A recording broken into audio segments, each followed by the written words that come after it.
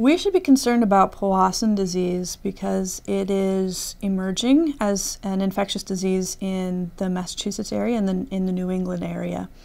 Um, it is carried by ticks. In fact, it is carried by the same tick that carries Lyme disease and babesiosis and uh, anaplasmosis. So those ticks are endemic to this area. Now, they're also endemic to the Great Lakes states and further along the um, eastern seaboard. Powassan disease is a tick-borne illness that causes a severe encephalitis in patients that become symptomatic from the infection. This is a virus that we do not have a remedy for. We do not have a way to combat the virus specifically, and if you do become infected, then your immune system basically has to recover on its own. And in fact, uh, about 50% of patients who have suffered from Powassan disease and recover have permanent neurologic damage from the disease itself. In addition to that, about 10% of patients who suffer from Powassan disease don't survive. Overall, this is a very rare infection.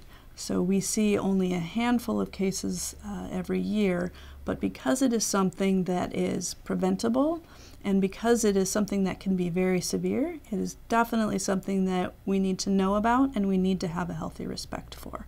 If you are unlucky enough to become infected or to be bit by a tick and you think that you have symptoms of Powassan virus disease, which include fever, headache, and in severe cases that have gone on for several days, seizures and difficulties breathing and difficulties with language and cognition, then absolutely you need to seek medical attention.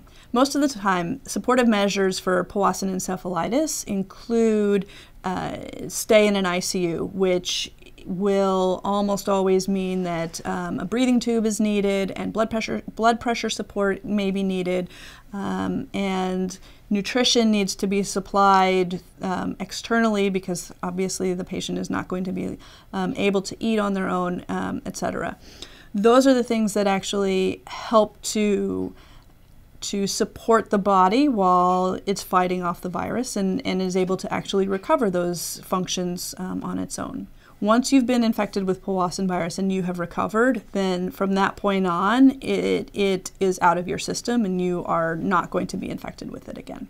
Powassan disease is a serious infection that is preventable by not getting bit by a tick in the first place.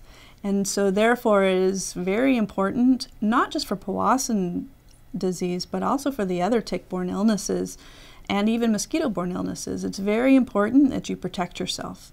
So when you're out in the woods, when you're out in the summertime, wear long, light-colored clothing, per, use permethrin, um, make sure that you check yourself, make sure that you um, that you tuck your pants into your socks, take all of the necessary measures to prevent yourself from getting bit in the first place, and then you won't have to worry about, uh, about contracting Powassan disease.